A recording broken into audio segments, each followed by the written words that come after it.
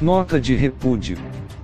A torcida jovem do Botafogo vem a público externar sua imensa revolta e insatisfação com a escolha de Graziane Marcial Rocha como árbitro de Botafogo e Fluminense, no primeiro jogo da semifinal do estadual. Foi por causa dele que fomos covardemente punidos pelo período de 90 dias. A TJB sofreu sanções por atitudes as quais não foi ela quem praticou.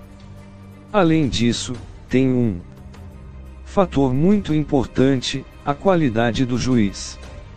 Ele não assinalou um pênalti claríssimo a nosso favor e não aplicou cartão vermelho após entrada criminosa em Chey. Todos os fatos citados aconteceram contra o time da Lagoa. Porque só um lado é punido.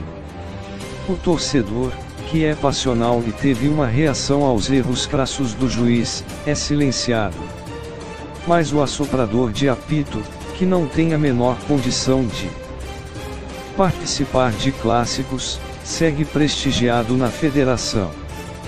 Por quê? Se é para punir, que puna todos. Dois pesos, duas medidas. A Ferjo merece o campeonato falido que tem.